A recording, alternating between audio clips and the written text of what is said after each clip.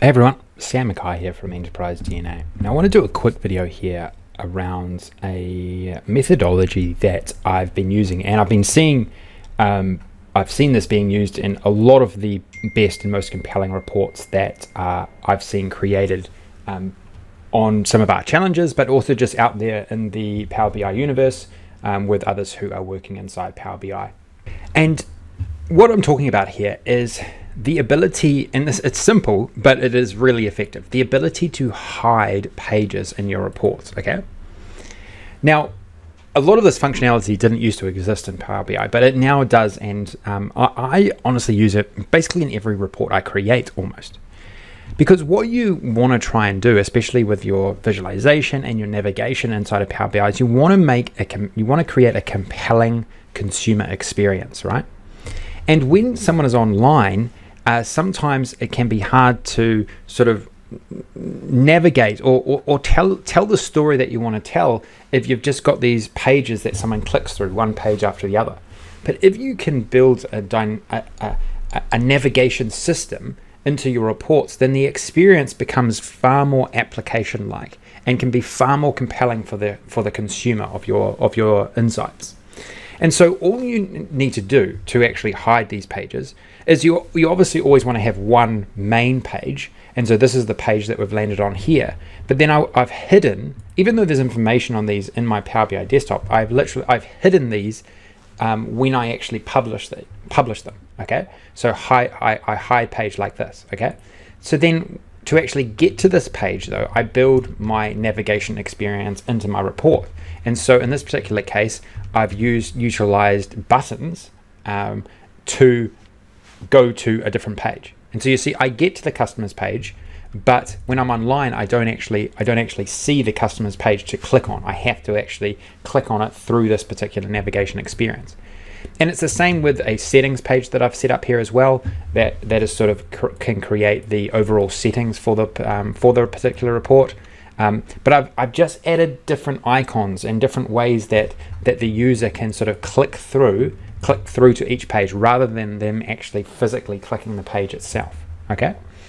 And so when I actually come to um, the online experience here, so I, I, brought this up in a publish to web link, but it would be the same um, for if you were in the Power BI online service. But when you are in this particular experience, right, and I'll expand this to the full page, you'll see that um, the user has to, it can, it, they cannot actually click on a particular page. So this is actually also good. If you think about it, those you, you can actually do a lot of sort of like workings, right? You can do a lot of um, dummy workings or, or or just experimentation on a page, but then hide it, and it doesn't actually appear inside of your, your report when it's in the online uh, in the online experience. The only way that users in this um, when you do it this way to actually get to a particular page is if you um, allow them to via some navigation experience, right? So another great way to use hiding um, the, the hidden pages.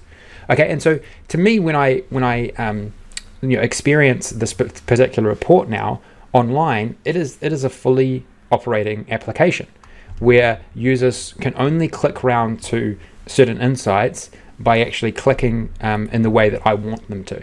Okay, on the way that I want them to navigate through the information. So for me, it enables me to just enable a far better storytelling experience. Okay, and that's what it comes down to. And the same actually goes for when you create um, Power BI apps. Like when you create, because ultimately you want to send, you want to distribute your main analysis and your reports in Power BI apps, right? If you hide pages, they don't appear in the navigation pane on the left-hand side of those apps. And so that's another um, important distinction uh, or important way that you might want users to navigate through a bunch of your reports that you've consolidated into one app. Okay. So these are the sort of things you want to think about, especially as you're developing more and more inside of Power BI.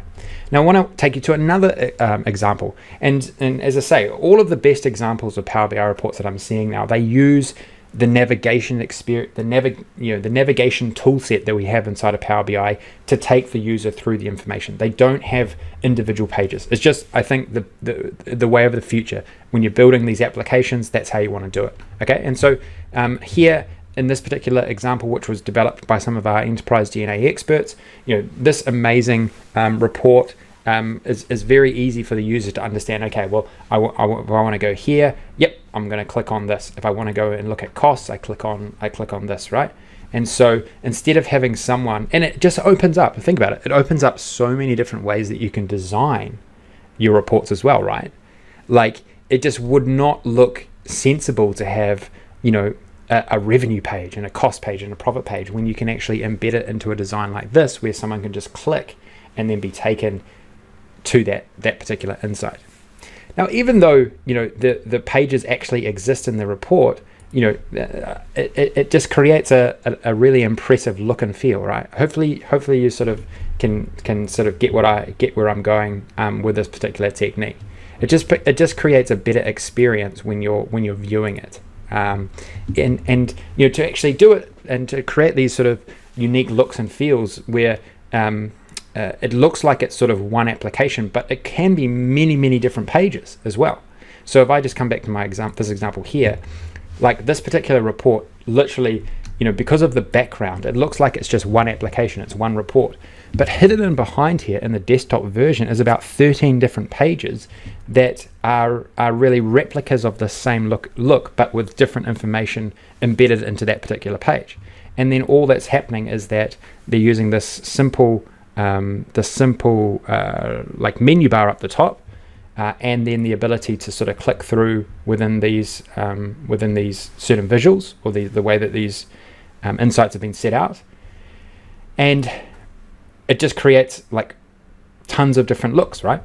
Like tons of different ways that you can look at your information and and make the um, way the consumer uh, evaluates uh, the the data that is important to them um, there's just so so many so much variability in the way that you can do that. Okay, so simple tip. So no need to um, go any further here. Um, just just something I really wanted to drill down on as I'm seeing this in, in all the best um, all the best uh, visualizations and, and reports that I'm seeing come coming through um, through the wires. Okay, take care. Uh, look really look forward to next time. Hey everyone, thanks for tuning in to Enterprise DNA TV. If you enjoyed the content covered in this particular tutorial, please throw the video a like. It really helps us and we really appreciate it. Also, don't forget to subscribe to the Enterprise DNA TV channel. Uh, we have a huge amount of content coming out all the time from myself and a range of content creators, uh, all dedicated to improving the way that you use Power BI and the Power Platform. Lastly, check out Enterprise DNA's website, plenty of resources and further learning that you can access very easily. All the best. Take care.